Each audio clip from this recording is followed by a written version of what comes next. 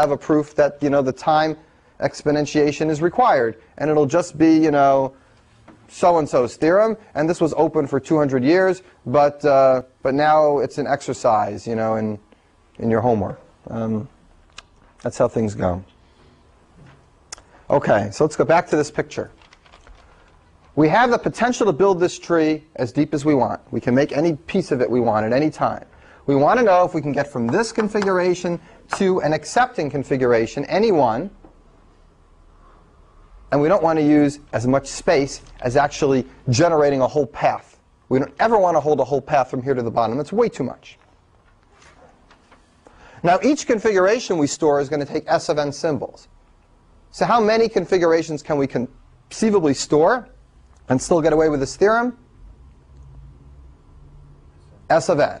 We got S of n for each configuration, and S of n configurations we have room to store. That gives us S squared n, S of n times S of n. So how can we go ahead, and this is, go away from the abstraction of a Turing machine, just this picture. You can generate this picture as big as you want.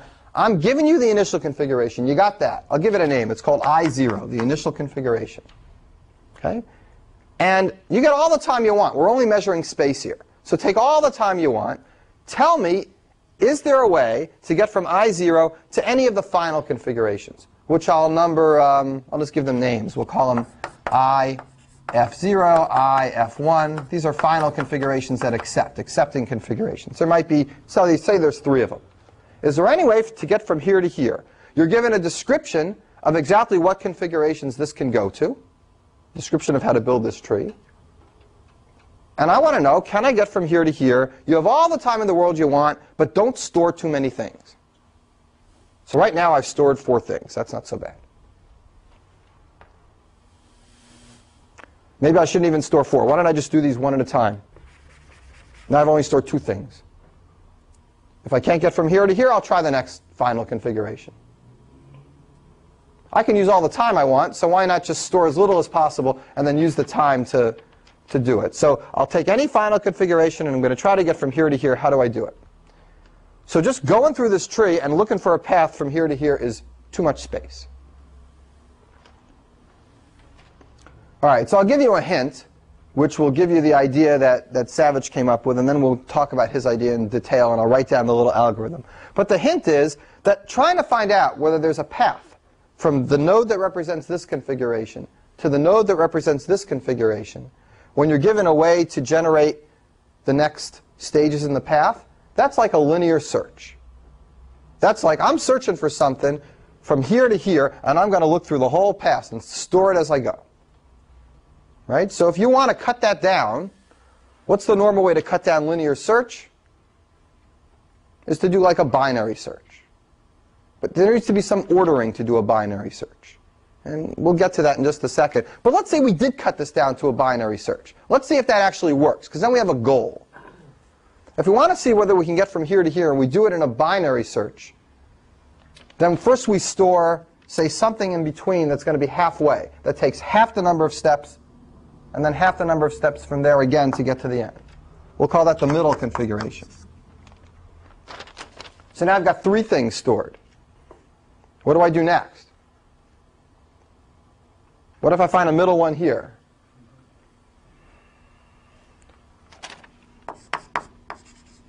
Middle, middle. And then maybe a middle one here and a middle one here. Sooner or later, these configurations are going to be one apart. Okay? How many configurations would I store until they became one apart if I just keep having this first interval? I have it, I have it, I have it, I have it, and sooner or later I get an interval that's just one apart.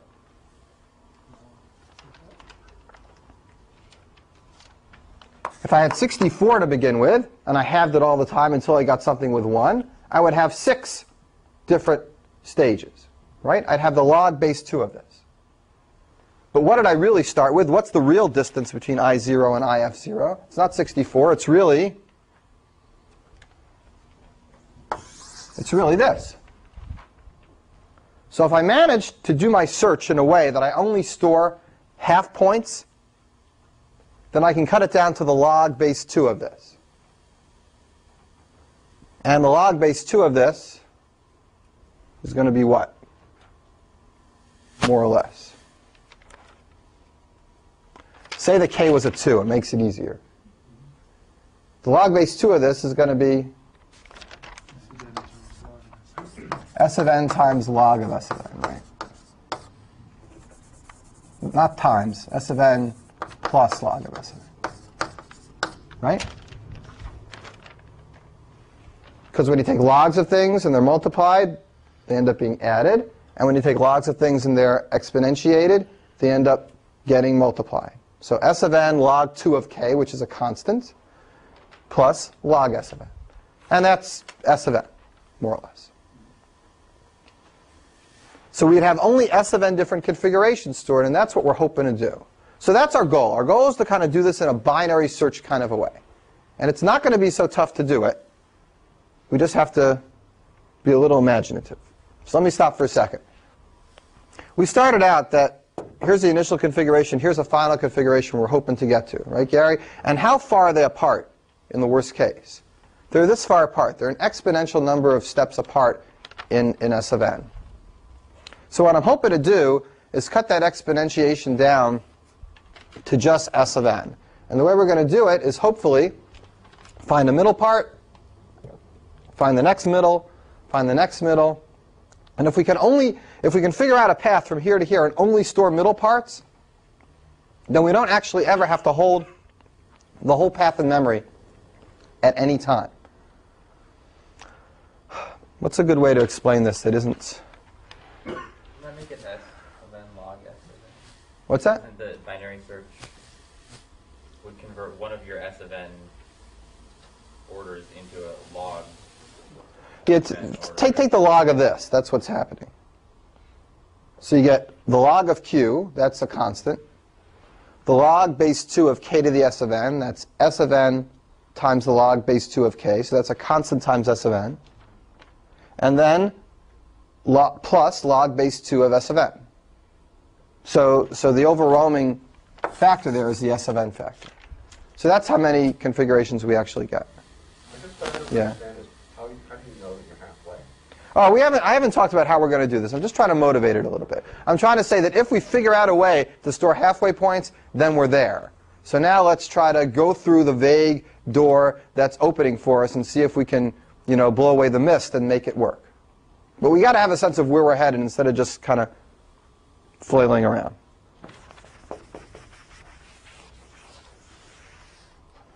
So before I actually write the algorithm down, I'm thinking maybe I can come up with another way of thinking about this that might be clearer for you. Uh,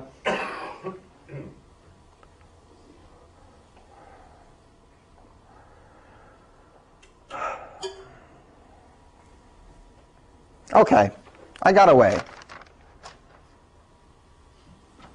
It's just the same thing, but maybe this will help you think about it. Let's say that, that somebody gives you a book, and in this book is a description of, of a big cave, and a description of the passages in the cave. And on page one is the entry passage, and that's called I0. And there's also a room at the end that has gold in it called I gold. That's the final configuration. And you're supposed to figure out whether there's a path from the entryway to the gold.